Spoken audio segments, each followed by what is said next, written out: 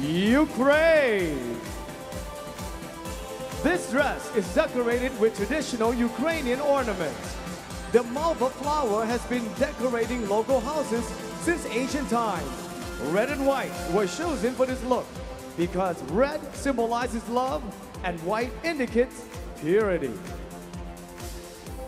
ชุดประจำชาติจากประเทศยูเครนชุดนี้ค่ะ ตกแต่งด้วยเครื่องประดับแบบดั้งเดิมของยูเครน ดอกมาวาคือดอกไม้ที่ใช้สำหรับตกแต่งบ้านเรือน ในท้องถิ่นตั้งแต่สมัยโบราณค่ะ สีแดงเป็นสัญลักษณ์ของความรัก สีขาวหมายถึงความบริสุทธิ์